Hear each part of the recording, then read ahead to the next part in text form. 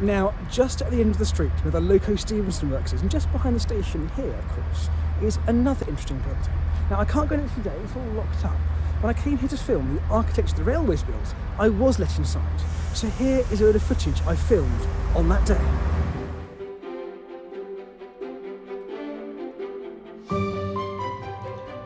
Well, today with the Network Rail team, we've got a real, real privilege. We've been given access to a building that's very, very rarely ever seen and hasn't really been used for 20 years. The things we're uncovering here are quite extraordinary. This is the water tower uh, at Newcastle Central Station. And this is the top floor, just beneath the water tank, where of course the water was stored to, to, to replenish the locomotives that would be out there in the yard. Like look out there, no locomotives out there today of diesel, certainly not any steam ones today.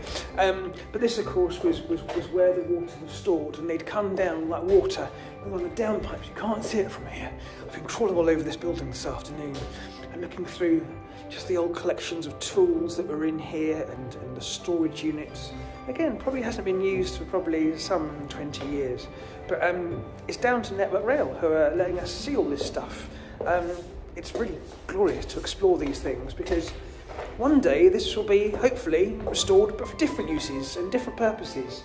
Um, oh, just out there, look, if look out here, you can see, look, you can see, you can see the bridge of the Tyne-and-Wear Metro that goes underneath the station, of course, these days.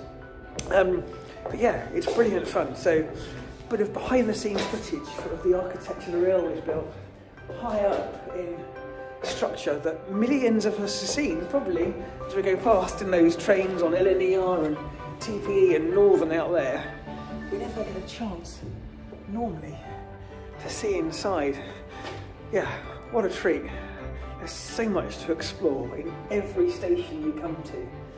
So full of ancillary buildings that have got fascinating uses. What an opportunity for the future to do really interesting things with the estate.